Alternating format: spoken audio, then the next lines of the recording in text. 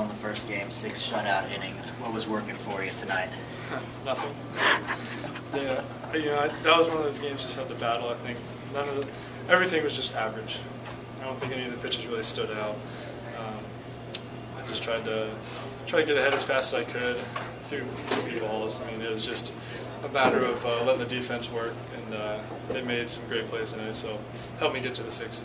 You're somehow still able to avoid any walks, though, even though you're kind of in and around the zone, a little bit outside. How were you able to do that?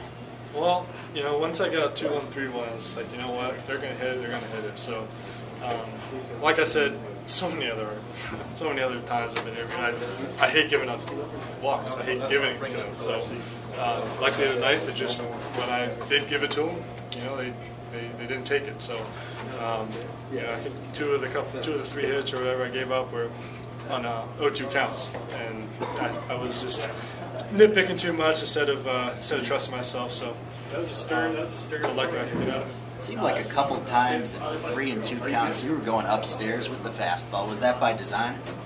no, not in three two counts. No. Um, you know, like I said, I just I tried to battle as best I could.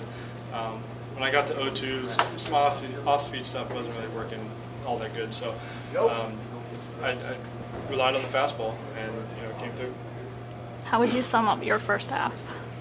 Uh, consistent. You know, I, I had a couple bad bad ones here and there, but I learned from them, and that was the big thing for me. So, um, just I'm just trying to go out there and just go deep into games and not give up a lot of runs, just like any other pitcher. But um, you know, it, it's great having the defense that we got behind us, and to have that outfield and infield just making plays, it makes your job a lot easier. So, um, you know, the first half though, it, it, that's really all I wanted.